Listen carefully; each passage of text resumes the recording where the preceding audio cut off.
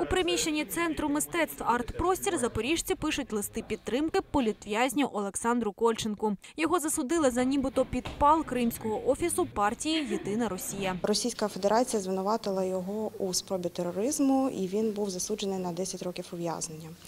Amnesty International вимагає перегляду цієї справи та справедливого вироку. Олександр Кольченко два роки знаходиться за ґратами. Спілкується лише зі своїм адвокатом. В листах запоріжці пишуть не тільки привітання, а й про те, що відбувається зараз в Україні. Трохи написав про Запоріжжя, що тут у нас український рух поступово е, зміцнюється, що все більше людей у нас вивчають українську культуру, все більше людей захоплюються українською літературою, все більше людей починають розмовляти українською мовою. А це означає, що тут в Україні зміцнюється українська державність. Також учасники марафону переглядали ролики про Олександра Кольченка. Кажуть, активіст постраждав через власні погляди. Худесенький, тонесенький хлопчик, скромний, 27 років йому виповнюється, але е, стальна така наснага і ну, дуже сміливий. За годину активісти написали декілька десятків листів. Вони не тільки підтримують політичних в'язнів, а й показують світу, що Україна бореться за права своїх громадян. Послання активісти відправлять в колонію, де перебуває зараз Олександр Кольченко.